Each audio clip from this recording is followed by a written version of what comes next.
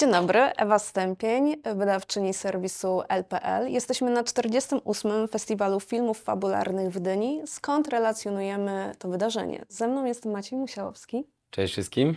odtwórca głównej roli, roli w filmie Freestyle, który możecie już obejrzeć na Netflixie.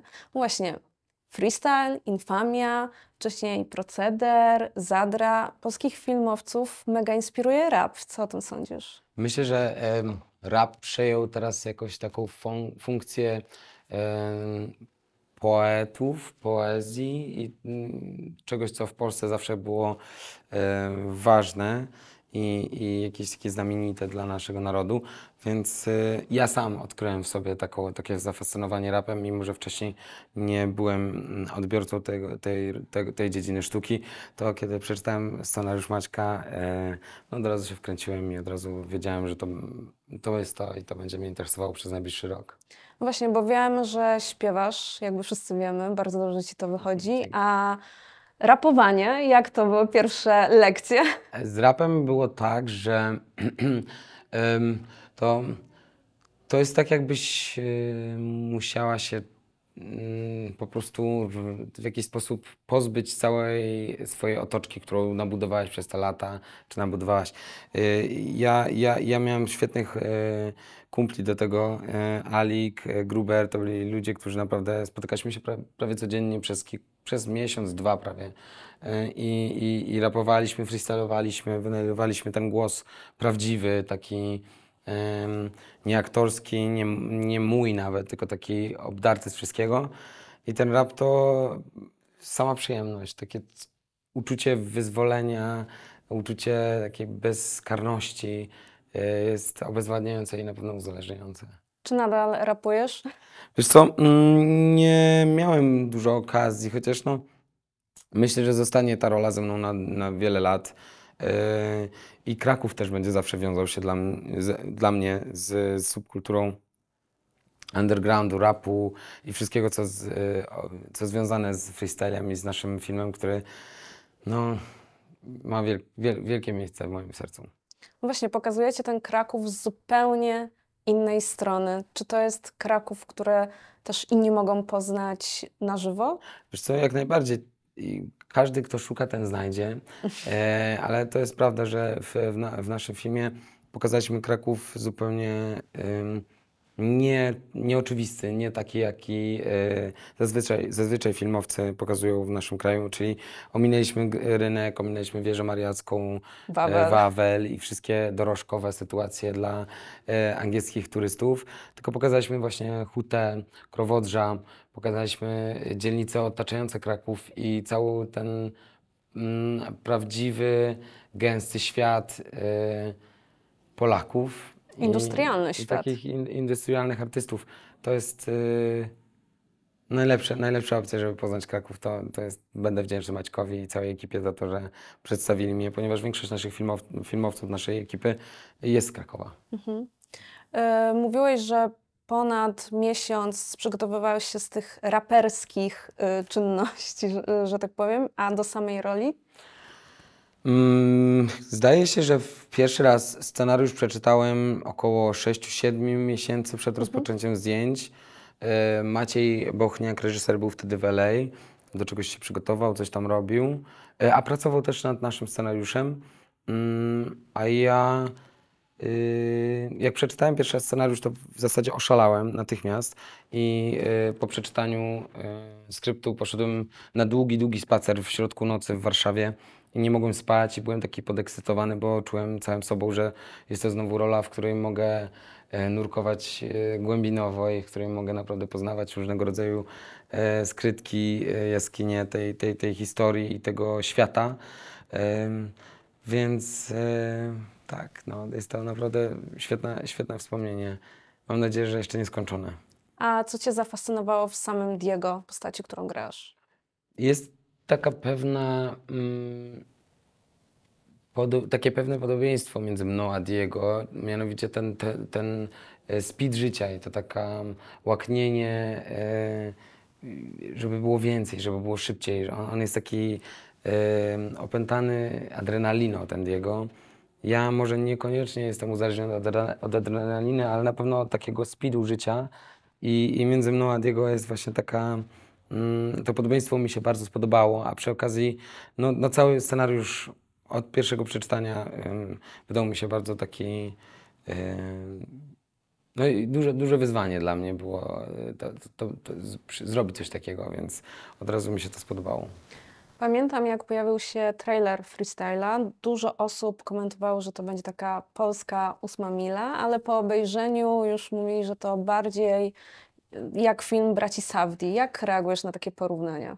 Ja nie przepadam za porównaniami, nie przepadam jakby za takimi e, przytykami, że ktoś coś zrobił, co Mhm. było podobne, bo mm, e, skala przypadkowości, która skłania mm, opinię publiczną do, do oceniania, jest naprawdę ogromna. To, że ja miałem czapkę, to był mój pomysł i zdecydowałem się na nią e, kilka dni przed zdjęciami. Nie był to żaden pomysł inspirowany ósmą milą czy czymkolwiek. Po prostu e, mój bohater e, dla mm, dla, dla widza, widza mm, takiego zaangażowanego, to ktoś tam znajdzie pewne symbole, które włożyłem w ten film, dlaczego, dlaczego mój bohater ma czapkę i dlaczego zazwyczaj chodzi z zakrytą głową, więc, e, więc to, był mój, to był mój pomysł, nie, niekoniecznie nawet e, kostymografki. Wszystkie te oceny są ważne, niech każdy ocenia jak chce i ta dyskusja na temat filmu też jest ważna. Mimo to yy, ja uważam, że to jest film absolutnie Maćka Bochniaka i jego wrażliwości, naszej wspólnej, całej ekipy i tego, mm, o czym on chciał opowiadać. On chciał opowiadać o świecie jakby z GTA, o szybkim filmie, o bohaterze, którym jest dynamiczny, za którym się idzie, z którego się nie spuszcza wzroku i z którym ciągle w zasadzie słyszy się ten pod- oddech e, przyspieszony.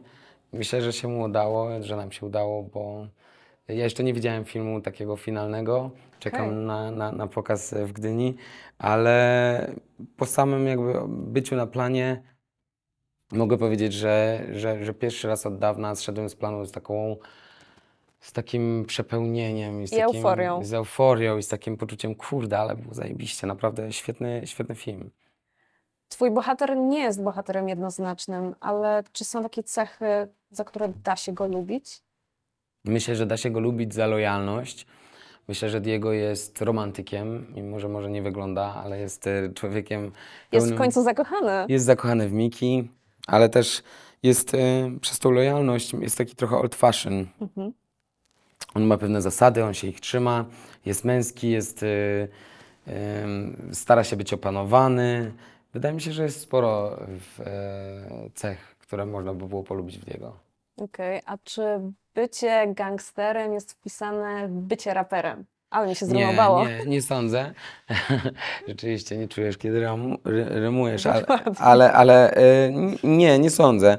Myślę, że jest jakaś taka tendencja, że raperzy muszą być tacy trochę bad boyscy, trochę alternatywni, ale może to nie jest tendencja, może to jest po prostu taki rodzaj sztuki, który y, pozwala ci na bycie bezczelnie sobą, takim byciem bezwzględnym z tym, kim jesteś i w zasadzie nie przejmowanie się cudzą opinią za bardzo, bo te opinie zawsze będą generowali ludzie, którzy są charakterystyczni, którzy mają siłę em, opowiadać o swoim życiu w sposób taki, jaki chcą, a nie taki, jaki społeczeństwo by chciało, żeby opowiadali. Więc y, myślę, że rap generalnie jest wyzwoloną dziedziną sztuki. A propos wyzwolonych sztukach, y, miałeś swój festiwal. Tak. Ma, możemy liczyć na kolejną edycję. Naturalnie, naturalnie. W podobnej dacie, jeszcze nie, dos, nie doustaliliśmy mm, daty drugiej edycji Festiwalu Sztuk Zjednoczonych, ale zdaje się, że będzie to w okolicach końca sierpnia przyszłego roku, 2024. Mm, no i tak, sztuki, sztuki Zjednoczone to jest coś, co mnie ostatnio kręci. A filmowo, co masz w planach? W nadchodzącym roku mam e, trzy scenariusze do, na, na, na, pul, na pulpicie. Mm, co, się, co śmieszne, e, w tym roku jakoś ja mam talent do przyciągania e, scenariuszy, które są zupełnie w innej półkuli mojego, mojego świata. Nie, nie, nie tej, na której zazwyczaj siedzę. E, I tym razem są to umysły ścisłe Mhm. mm, matematycy, nie, wie- niewiele mogę powiedzieć, ale, ale mm, coś mnie tam ciągnie, coś mnie fascynuje w, w, jednym, w jednym szczególnie scenariuszu, gdzie będę musiał trochę się pouczyć e, matematycznych równań, fizyki kwantowej. Zobaczymy. Czyli trochę przyciągasz, ale nie dajesz się zaszufladkować, że jesteś e, aktorem, nie wiem, filmów sensacyjnych, komedii. Próbujesz trochę wszystkiego. Naturalnie, no to jest e, chyba najbardziej ciekawe w e, zawodzie aktora. Ten, ten samorozwój, to ciągłe mm, zaglądanie w światy, w których niekoniecznie e, odnalazłby się sam, sam ze sobą w, w życiu codziennym. E, mnie, przynajmniej, mnie przynajmniej to fascynuje. E, I chociaż strasznie marzę o filmie, gdzie będę na jakimś koniu białym z szabelką e, walczył o płonący dwór e, razem z e, oddanymi mi e, facetami wbiegającymi w, w ogień. Ostatnio nawet na, na, na jednym z wieczorów opowiadałem o tym, e, zdaje się kilku znajomym, że, że to jest moje takie jedno z największych filmowych marzeń właśnie, żeby wsiąść na konia, wsadzić e, narzeczoną w ciąży i trzasnąć tego konia i mówić jedź, jedź, uciekaj, i ta dramaturgia. Chciałbym zagrać coś kostiumowego i romantycznego. No, kino historyczne w Polsce jest mega popularne, więc jest Chociaż u nas kino historyczne skupia się na jakimś takim cierpieniu Polski nad Polską. Ja bym chciał zrobić taki romantyczny film, zupełnie nie z... Nie, może nie, nie do końca osadzony w jakimiś takich realiach, że to nie musi być na faktach. Bardziej chciałbym Mhm. zrobić coś takiego, gdzie, gdzie mogę po, em, poczuć jakiś taki ten dramatyczny vibe, który, który, który noszę w sobie od jakieś, od zawsze chyba. Uwaga, scenarzyści, jakby Maciek jest tutaj gotowy. Hejko. Skontaktujcie się ze mną. Yy, Rzeczywiście jest to moje marzenie filmowe od zawsze. E, Kończąc powoli nasz wywiad, jak e, freestyle według Ciebie został odebrany tutaj w Gdyni? Bo jest to jednak festiwal, który zrzesza całe środowisko filmowe i media i jakby są, bardzo dużo szczerości jest tutaj zawsze w komentarzach. Yy, W Gdyni powiem szczerze, że świetnie, świetnie mi się tu ten sezon rysuje, bo zazwyczaj w Gdyni jest tak, że mm, no jest to specyficzny festiwal filmowy, bardzo e, e, ciekawy tak socjologicznie. W tym roku mamy, mamy naprawdę fajną ekipę znajomych, ale wszyscy, z którymi rozmawiam, e, propsują raczej film.